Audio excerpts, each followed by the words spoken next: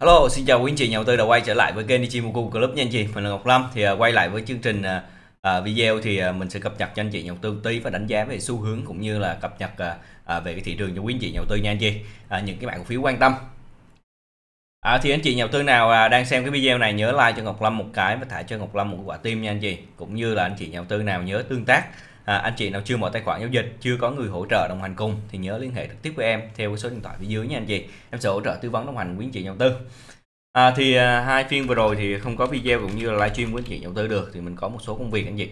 À, đi à, giao lưu với một số khách hàng với là một số anh để mà có thêm một số thông tin để phục vụ cho vấn đề mà hỗ trợ cho anh chị đầu tư trong giai đoạn sắp tới. À, liên quan về câu chuyện đó là bất động sản anh chị tại vì anh chị đầu tư biết rồi à, giai đoạn vừa rồi thì mình đánh cổ phiếu bất động sản tương đối nhiều không? À, thì ở trong giai đoạn này thì anh chị nhà tư thấy là thị trường của mình nó đang đi lên một cái giai đoạn gọi là sóng ba thì giống như em vẽ đúng không anh chị. Mấy hôm nay là mình không có đụng chạm vào nha anh chị. Thì tới hôm nay anh chị nhà tư thấy nó đi theo đúng cái mũi tên em vẽ ra cho quý anh chị nhà tư luôn. À, tuy nhiên thì mình chờ đợi cái sự bứt phá của hai cái phiên đầu tuần không? Nhưng mà hai phiên đầu tuần thì nó chỉ có tăng điểm rất là nhẹ thôi anh chị. Nó không có, có bứt phá lên được ở dưới đây nó còn một quả gáp nữa. À, thì ở đây thì nó sẽ có những cái hiện tượng gì xảy ra trong giai đoạn sắp tới nha anh chị? Thì nó cũng đã tiếp cận lại khu vực là 1040 à, giống như em đã chia sẻ cho anh chị nhà đầu tư những cái video trước khi em đi nha anh chị. À, chỉ có tiếc là hai phiên đầu tuần thì nó không tăng mạnh thôi đúng không? Tiếc là hai phiên đầu tuần nó không tăng mạnh thôi. À, thì với cái xu hướng sóng 3 này thì sóng này thường là một cái sóng ngắn nha anh chị không phải là sóng dài đâu. Là sóng này sóng ngắn. À, nếu như trường hợp bây giờ nó sẽ xảy ra hai trường hợp chính nha anh chị nó xảy ra hai trường hợp chính. À, thị trường nó vẫn giữ trend tại vì hai cái đường giao găm này nó đi lên rồi anh chị. Một hai ba phiên tới thì thị trường nó vẫn đang trong một xu hướng mạnh. Nó cần phải bứt phá đi ngay lập tức ở trong những giai đoạn này. Có thể phiên hôm nay phiên ngày mai phải bóng phóng lên ở phía trên à, 1050 1060 gì đó làm cho những nhà đầu tư bán rồi người ta nóng ruột và người ta vào làm cho cái thanh khoản thị trường có xu hướng là đi lên. À, lúc đó nó mới gọi là câu chuyện tốt nha anh chị. À, nếu không nó cứ sập sệ sập sệ sập sệ ra anh chị thì qua tuần bắt đầu là khách sạn bắt đầu nó xuất hiện lên thì khả năng bắt đầu rung lắc và điều chỉnh tạo thành mô hình hai đỉnh. Rất là phí nha anh chị rất phí trong giai đoạn này. À, thành ra cái vấn đề cần lưu ý trong giai đoạn sắp tới là gì anh chị? Đó là phải theo sát bám sát thị trường, không được chủ quan đối với thị trường nha anh chị. Ở đây thì anh chị nhà đầu tư thấy là một số mảng cổ phiếu trụ nó đang có xu hướng nó chạy đúng không chị? À, dòng cổ phiếu lớn nó đang có xu hướng chạy giữ điểm số cho thị trường không gì thay đổi. À, tuy nhiên là những cái dòng miếng cáp ở bên dưới thì cổ phiếu nào điều chỉnh thì điều chỉnh rất là mạnh. Đúng không? Thành ra mình phải phân bổ lại à, cái tài khoản của mình, xây dựng lại cái danh mục cho nó hiệu quả nha anh chị trong giai đoạn tới à, thì với cái thị trường thì mình phải chú ý nha anh chị chú ý vài phiên tới. Nếu như mà nó không bứt phá lên được cái quan trọng nhất trong giai đoạn này là có một sự bứt phá mạnh mẽ ở cái phiên giao dịch hôm nay hoặc là phiên giao dịch ngày mai anh chị. Hôm qua thì rất cần một phiên bứt đi lên để mà hai kiếm này đi lên. Thì lúc đó thị trường của mình nó mạnh được còn nó lưng dần lưng dần đây là bắt đầu những cái chỉ báo bắt đầu nó cũng đang có những cái tín hiệu khá căng nha anh chị.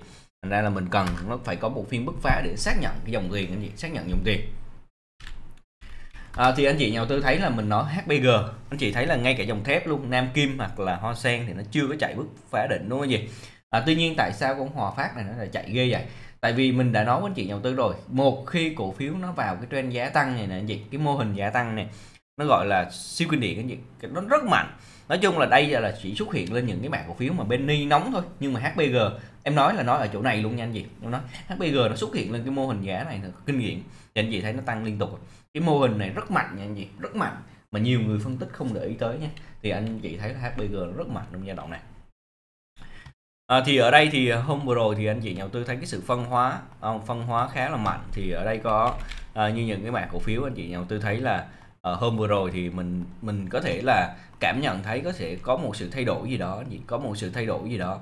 Thì ở đây uh, có một số cái mã cổ phiếu như là uh, CTG chẳng hạn như CTG thì mình nói anh chị đầu tư là tham gia vào 26 không? Lộ 27 thì đối với cái bẻ này thì mình dịch chuyển qua một phần hàng bên đó để mà mình coi thử cái nhóm uh, uh, dòng tiền nó như thế nào. Thì dòng tiền nó đang chảy vào những cái mã cổ phiếu như thế này CTG rồi chẳng hạn.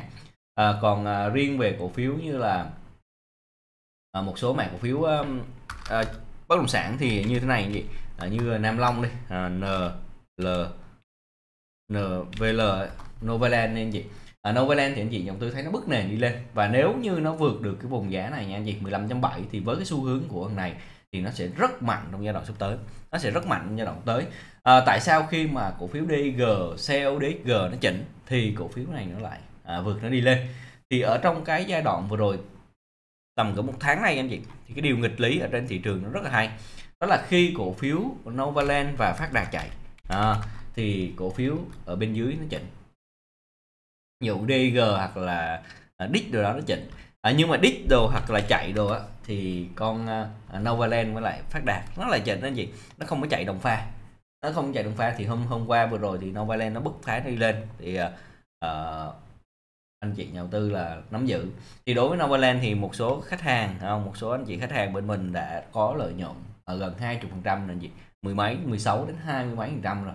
Đó là một trong những cái mà rất là tốt trong việc vượt ngắn hạn chúc mừng anh chị nhà đầu tư nha. À, còn anh chị nhà đầu tư nào mà muốn cân đối cơ cấu lại xây dựng là một cái danh mục trong giai đoạn này thì nhớ liên hệ với em nha anh chị. À, phải bình tĩnh. Có thể là thị trường đi lên nhưng mà cổ phiếu hoặc là danh mục của anh chị nhà đầu tư nó không đỏ thì phải có chiến lược cho nó hiệu quả. À, xây dựng là một chiến lược cho nó bài bản nha anh chị. Nó bài bản và hiệu quả nha. À, anh chị nhà đầu tư nhớ theo dõi nha anh chị. Thì à, à, khi mình đi về thì mình chỉ làm một cái video để cho anh chị nhà đầu tư nhận diện được xu hướng thị trường cũng như là có những cái cách chuẩn bị trước cái tâm lý để mà xử lý trong giai đoạn tới thôi. À, sẽ có những cái à, hay hơn à, để mà cập nhật đến cho anh chị nhà đầu tư trong một hai phiên tới nha anh chị. À, có thể là chiều hôm nay khi mình theo dõi cái sự biến động của thị trường thì mình sẽ cập nhật thêm cho quý anh chị nhà đầu tư nha. À, tình hình là cứ bám sát theo những cái mã cổ phiếu thôi. À, thị trường nó cần có một pha bứt tốc sớm nha anh chị bứt tốc sớm để đi lên có một sự đồng thuận hơn trên thị trường của mình à, trong giai đoạn tới. Thành ra là anh chị nhà đầu tư cũng phải cố gắng hết sức để mà theo dõi nắm bắt xu hướng cũng như là à, cập nhật à, với thị trường. À, chứ không là là à, cũng khó xử lý nha anh chị cũng khó xử lý. Nên thành ra anh chị nhà đầu tư cố gắng nha anh chị cố gắng à, chờ đợi theo dõi chứ không là dòng tiền nó dịch chuyển mà anh chị nhà đầu tư không biết tại vì trong bức trend nó vậy nó sẽ có một sự thay đổi giữa cái dòng tiền những cái nhóm ngành này qua những cái nhóm ngành kia. Nếu như mình nắm giữ những cái nhóm ngành mà nó chưa có đạt được sự kỳ vọng thì nó đi xuống nó tích lũy hoặc là nó điều chỉnh thì nó hơi phí nha anh chị nó hơi phí. Thành ra anh chị nhà đầu tư cố gắng làm sao đó xây dựng cho em một kịch bản à, tốt trong giai đoạn sắp tới để làm gì anh chị? Kịch bản tốt trong giai đoạn sắp tới. À, để mà à, có những cái phản ứng đừng có chủ quan đối với thị trường. Đừng có nghĩ là thị trường đi lên không mà mình phải xây dựng ra một kịch bản là mình phải à, theo dõi. Nếu như trường hợp xấu xảy ra thì mình làm gì anh chị? Chứ không là anh chị nhà đầu tư chủ quan với thị trường không được nha anh chị.